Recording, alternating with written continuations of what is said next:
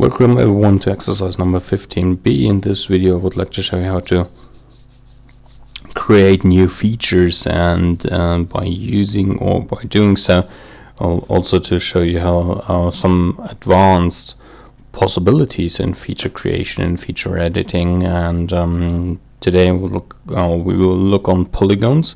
In this exercise 15b um, you have this aerial photograph and the parcels and um, you maybe also know how to use the editor toolbar from the last video. So first of all I would like to go uh, to the first parcel site which is marked here as a bookmark. Um, well this is located I'll zoom in a little bit easier. This is located over here in this area and what I, what I would like to do is I would like to create a new parcel which will cover this area here. And of course it should uh, join the vertices in these ends. So we will need this snapping function but not the snapping function in point snapping which is maybe selected from the last session but for the vertices because we don't have any points in our project here.